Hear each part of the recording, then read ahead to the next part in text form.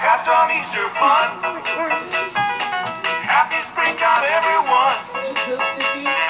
Easter bunny's on his way. So come on, let's all go out and play. Quacky, quacky, oh, quacky, quacky. Quacky, quacky.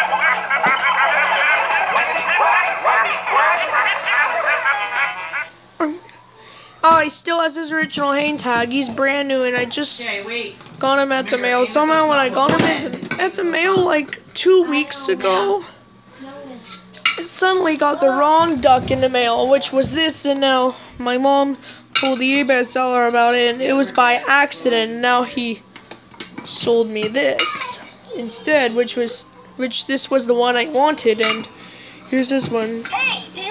I know you've seen this one before. This one's cleaner than my older one, so that's why I'm keeping this one.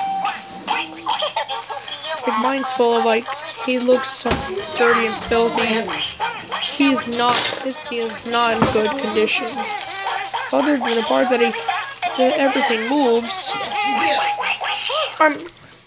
So I got these both two ducks. Well, this one's a good one, like made by DanDee, and this one's pretty rare actually.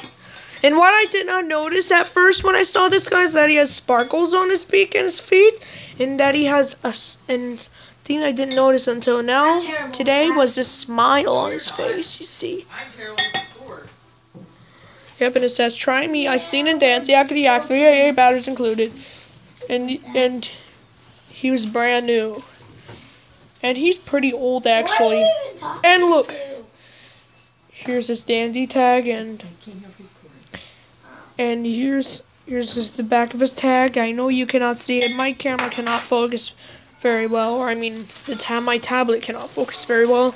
And also it has a ribbon which you can see.